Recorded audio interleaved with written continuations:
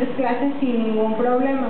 Tenemos, por ejemplo, la marca Chivas, la marca del de Club Guadalajara.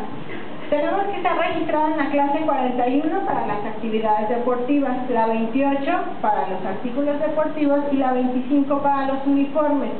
Si Chivas, por ejemplo, no registra en la clase 28 y un tercero se pone listo y gana esa clase, pues va a haber un problema porque ya Chivas tendría que demandar, etcétera. Hacer otro procedimiento mucho más complicado por no haber registrado una clase que les era necesaria.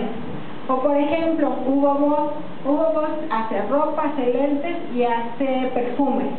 Sin embargo, si olvidémonos que Hugo Boss sea una marca famosa, si Hugo Boss fuera marca de Juan Pérez, y Juan Pérez nada más la quiere registrar en la clase 25 porque ahorita no tiene los recursos necesarios para registrar otras clases, pero, ¿cómo? Pero Jesús se pone listo y va a decir, Hugo Boss tiene posibilidad de una marca muy famosa. Yo voy a registrar en la clase 3, pues bien por Jesús, porque Jesús ya va a tener la marca Hugo Boss para perfumes y el principal no.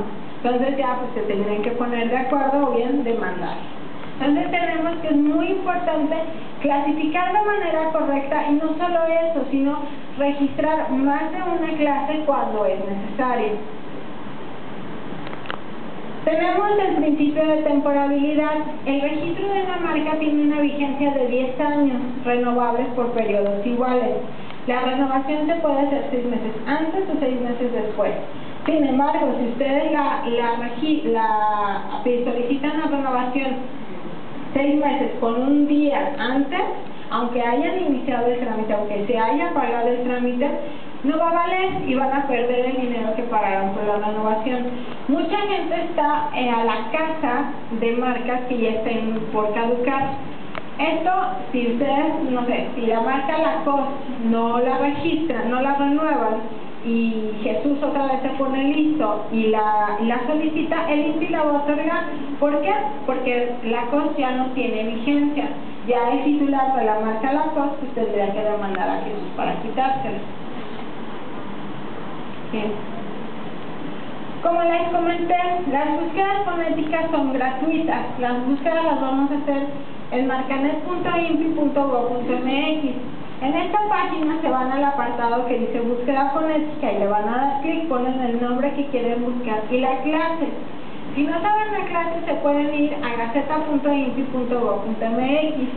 Ahí van a poner, por ejemplo, zapatos y les van a aparecer todas aquellas clases que amparen zapatos, la más común con la clase 25. Entonces, ¿cómo interpretar un resultado de búsqueda?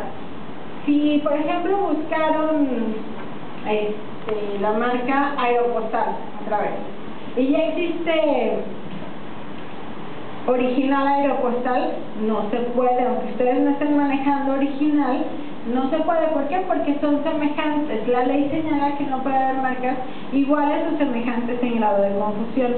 Mucha gente piensa que si porque le ponen una S o porque le cambian la C por la Z, etcétera, ya son distintas. No. Si el resultado fonético que tiene la marca es igual o similar, el INPI las va a negar.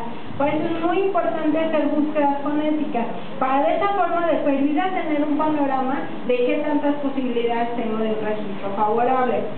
Ahora, si en la búsqueda, por ejemplo, ponen restaurar los arcos, eh, todo el resultado de búsqueda se va a deformar y nada va, va a manejar la palabra restaurar.